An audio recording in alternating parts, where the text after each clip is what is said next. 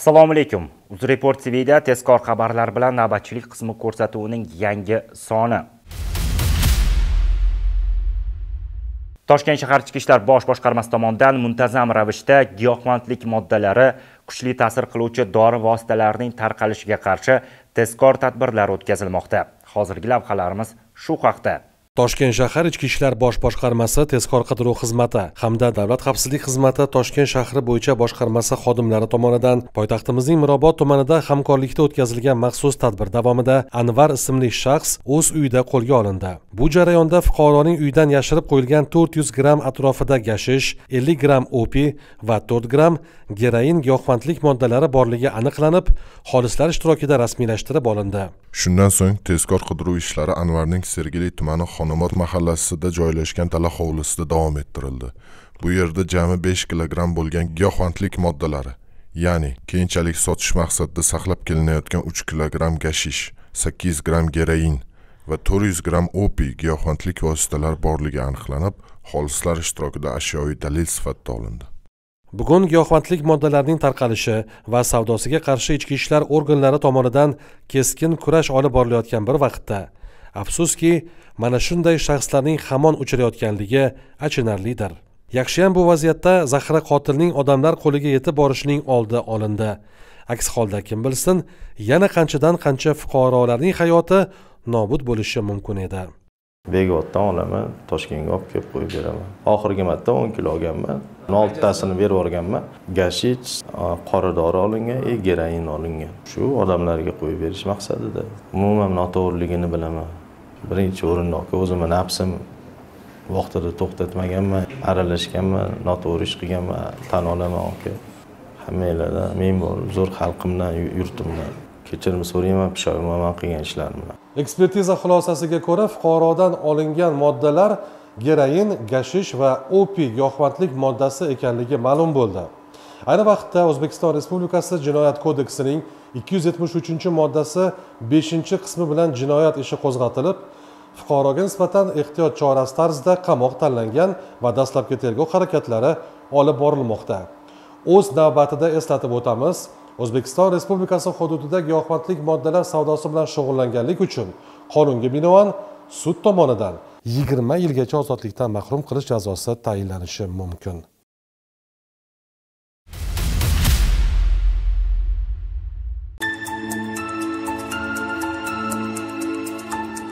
Hurmatli yurtdoshlar firibgarlardan ogoh bo'ling. Sms orqali keladigan kodlarni hech kimga aytmang. Sizga qo'ng'iroq qilib o'zini bank yoki to'lov tizimidanman desa ishonmang. Bank va to'lov tizimi xodimlari sizdan kodlarni so'ramaydi.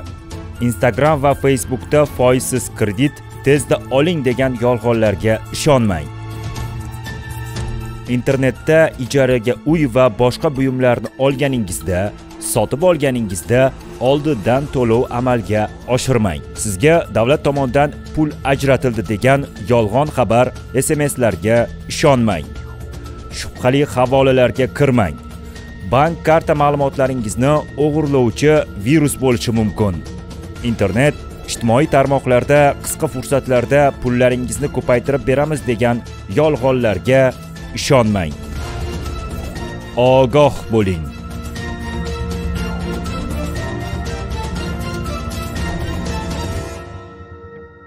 Navbatdagi lavhamiz o'g'irlik jinoyati haqida. Undagi holatni tomosha qilib siz ham hushyor tortasiz degan umiddamiz. Ayrim haydovchilar avtomashinasini avtoturargohga joylashtirgandan so'ng oynalari ochiq qolganiga e'tibor qaratishmaydi. Buning oqibatida ba'zi fikri buzuq kimsalarga sharoit yaratib berib avtomashina ichidagi qimmatbaho buyumlar yoki pullarni o'g'irlanishiga sabab bo'lishi mumkin. Mana shunday holat chilonzor tumanida sodir bo'ldi. Chilonzor tumani patrul post xizmat xodimlari o'z xizmat vazifalariga biriktirilib belgilangan hudud bo'yicha ish faoliyatini olib boradilar. Soat 21:30larda tumanda joylashgan avtoturargohlarning birida noma'lum shaxsning avtomobillar oldidagi shubhali harakatlari xodimlarning e'tiborini tortdi.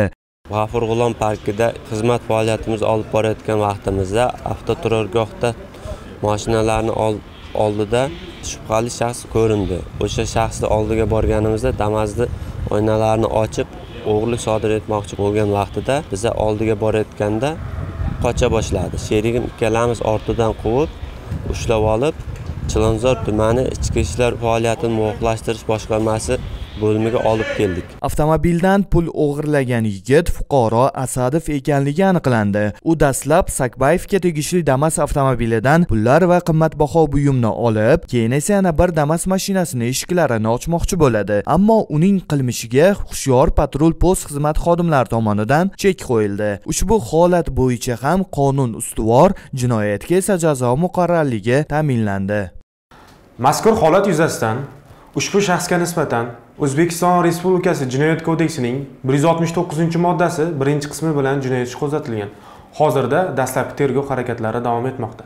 Hurmatli fuqarolar agarda siz ham ko'changiz yoki mahallangizda biror bir shubhali shaxslarni ko'rib qolsangiz darhol ichki ishlar organlari xodimlariga xabar bering. Toshkent shahar ichki ishlar bosh boshqarmasi yo'l harakati xavfsizligi boshqarmasi xodimlari tomonidan haydovchilar o'rtasida targ'ibot tadbirlari o'tkazilmoqda. Bugun poytaxt ko'chalarida harakatlanayotgan avtomobil haydovchilari yo'l madaniyatiga e'tibor qaratishyaptimi? Ko'chada hamma qayergadir shoshadi. Besh daqiqa oldin yoki keyin bu hech narsani o'zgartirmaydi to'g'rimi? Tirbandlik vaqtlarini aytmasa ham bo'ladi. Bu mavzuga to'xtalishimizning asosiy sababiga o'tamiz. Maxsus transport vositalari sirena yoki migalka orqali harakatlangan vaqtda imkoni boricha avtomashinangizni chetroqqa olasizmi? Agar siz shu holatda beparvolik qilsangiz bu nima oqibatlarga olib kelishini bilasizmi? Birinchidan tez tibbiy yordam avtomashinasi ichidagi bemor o'z vaqtida kasalxonaga yetib bora olmasligi oqibatida bir fuqaroning o'limi bilan yakun topishi mumkin. Ikkinchidan favqulodda vaziyatlar vazirligiga tegishli avtomashinalar yo'l so'rashsayu siz loqaydlik qilsangiz qayerdadir sodir bo'lgan tabiiy ofatlar alanga olgan olovning vaqtida o'chirilmasligi qutqaruvga muhtoj fuqaroning vaziyati keskinlashuviga sababchi bo'lib qolasiz. Uchinchidan huquqni muhofaza qiluvchi organlarga tegishli xizmat avtomashinalariga yo'l bermaslik oqibatida biror shaxsning jinoyat qurboniga aylanib qolishiga yoxud qonunbuzar o'z vaqtida qo'lga olinmasligiga sababchi bo'lasiz.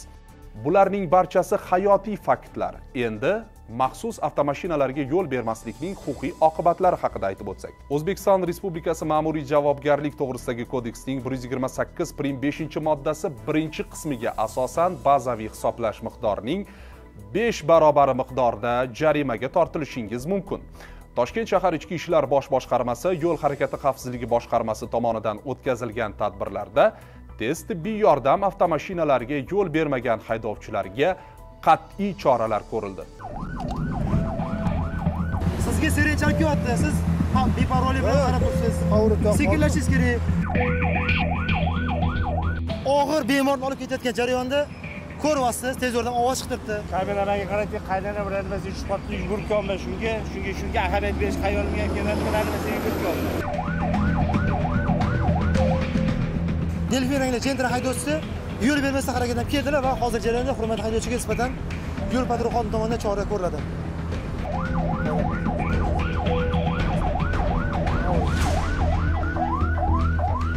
Nima yo'l bermayapsiz? Ko'ryapsiz gapirilyapti ovozi chiqyapti sirena bor.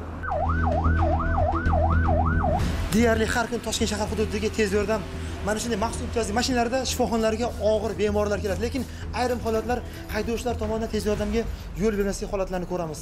Iltimos qilamiz avtomashina boshqarayotgan haydovchilardan har bir tez yordam ko'rgan vaqtda yo'l berishni so'rab qolamiz. Haydovchilarni qoida buzishga olib kelgan sabablar turlicha bo'lishi mumkin lekin bahonalarning hech biri qonundan ustun emas. Hurmatli haydovchilar shunday ekan yo'llarda tegishli tartib qoidalarga amal qiling.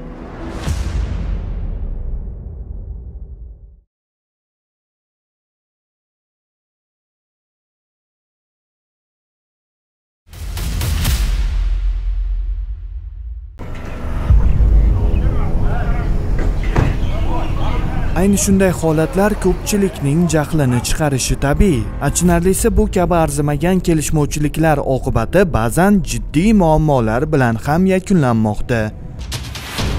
E ko'zingga qaramaysanmi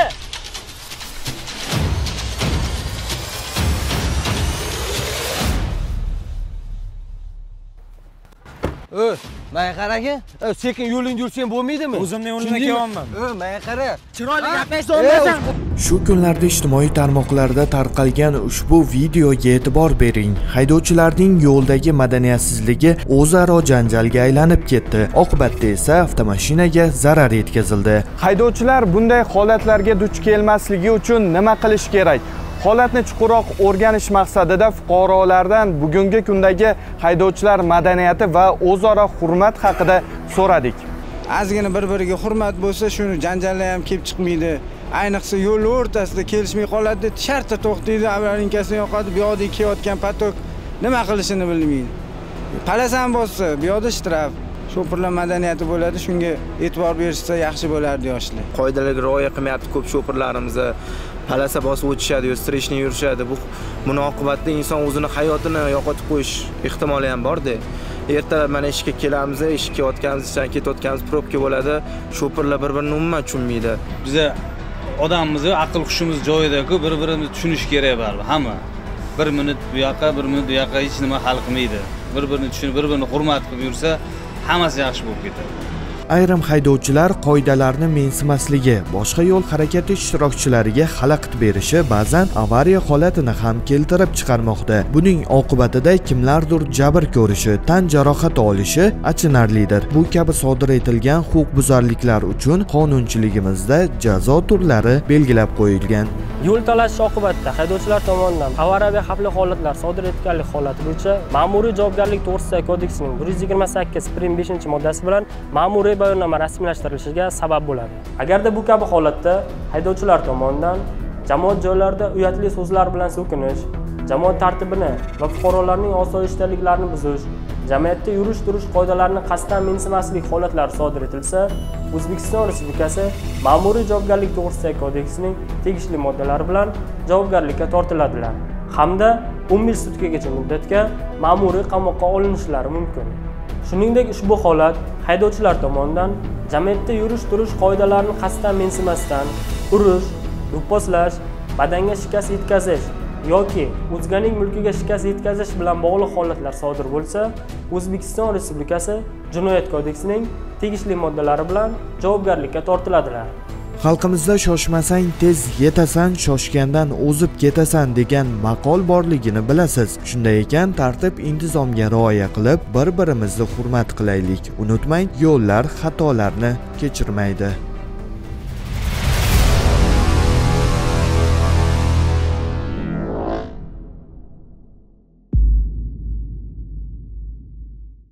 Xabaringiz bor haftaning har payshanba kuni huquqbuzarliklar profilaktikasi kuni deb e'lon qilingan. Shu munosabat bilan yunusobod tumani ichki ishlar organlari faoliyatini muvofiqlashtirish boshqarmasi tomonidan erta tongda yo'riqnoma o'tkazildi. Unda tuman sektor rahbarlari va mas'ul tashkilot vakillari ishtirok etishdi. So'z olganlar amalga oshirilishi kerak bo'lgan topshiriqlarni xodimlarga yetkazishdi. Profilaktik tadbirlar odamlar gavjum bo'ladigan bozordan boshlandi. Bu yerda ichki ishlar organlari xodimlari tomonidan sotuvchi va xaridorlar ogohlikka chaqirilib internetdagi firibgarlar haqida ma'lumot berishdi. Hushyorlikka chorlovchi flayerlar tarqatildi. Hududdagi kuzatuv kameralarining sozligi nazoratdan o'tkazildi. Tuman ichki ishlar organlari faoliyatini muvofiqlashtirish boshqarmasi xodimlari tomonidan avtomobil olib qochilishi bilan bog'liq holatlarni oldini olishga ham alohida e'tibor qaratilmoqda. Profilaktika kuni doirasida biz oqtepa mahallasiga keldik. Bu yerda avtomobil yuvish shoxobchasi bor. Avtomobillarni ochiq qoldirmaslik e,